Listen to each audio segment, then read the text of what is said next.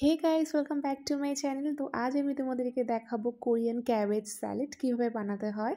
তো তার জন্য আমি একটা গোটা ক্যাবেজ নিয়ে নিয়েছি বাট আমি এটার জাস্ট হাফ পিস কেটেছি। অ্যান্ড তোমরা দেখতে পাচ্ছ খুব পাতলা পাতলা ঝুড়ো ঝুড়ো সাইজে আমি ক্যাবেজটাকে ফার্স্টে কেটে নিয়েছি অ্যান্ড কেটে খুব ভালোভাবে ওয়াশ করে নিয়েছি। এবারে আমি একটা কাছের জার নিয়ে নিয়েছি অ্যান্ড এই কাছের জারটা কিন্তু থাউজেন্ড এম ছিল। খুব ভালো একটা কাচের জার যেটাকেও ফার্স্টে ওয়াশ করে ভালোভাবে ক্লিন করে নিতে হবে। অ্যান্ড এই কাচের জারটা কিন্তু আমি অ্যামাজন থেকে পারচেস করেছি। তোমরা চাইলে কিন্তু এই কাচের জারটার লিঙ্ক আমি ডিসক্রিপশন বক্সে দিয়ে দেবো। খুবই অ্যাফোর্ডেবল অ্যান্ড খুবই ভালো কোয়ালিটির ছিল।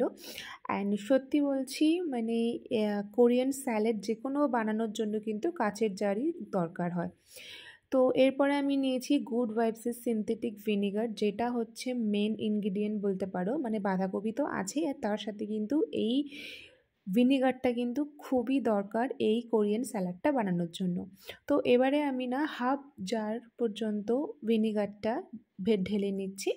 অ্যান্ড যেহেতু এটা আমার ফার্স্ট ট্রাই সেই জন্য আমি বেশি মানে এক্সপেরিমেন্ট করছি না।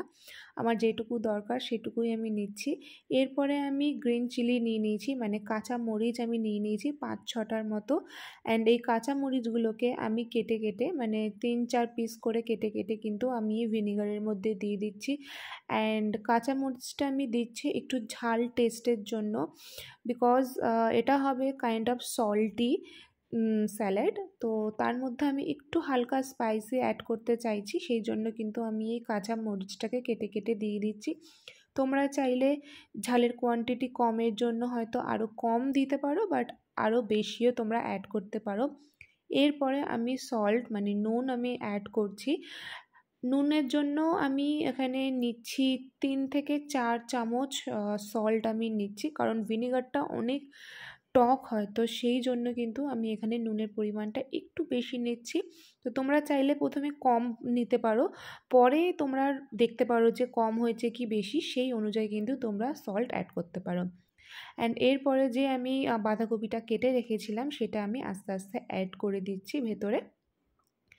তো খুব কেয়ারফুলি এটাকে অ্যাড করতে হবে। অ্যান্ড আমার মনে হয় হাত টাচ না করাই উচিত বিকজ এটা হচ্ছে অনেক দিন ধরে মানে রেখে দিতে হবে। সেই জন্য পারলে কোনো স্পুলি বা কোনো এরকম চিমটার সাহায্যে কিন্তু বাঁধাকপিগুলো তোমরা এর মধ্যে দিয়ে দেবে অ্যান্ড ভালো করে এটাকে মিক্স করে নেবে।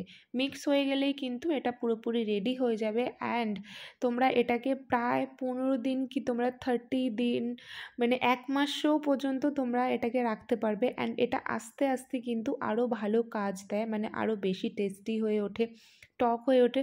অ্যান্ড দেখতেই পাচ্ছ আমার এখানে Korean cabbage salad ready and এটা আস্তে আস্তে আরও বেশি টেস্টি হয়ে যাবে। তো তোমরা অ্যান্ড রুটি, ভাত ফ্রাইড রাইস নুডলস চাউমিন সব কিছুর সাথে কিন্তু এটা তোমরা সার্ভ করতে পারবে। দারুণ টেস্টি লাগবে।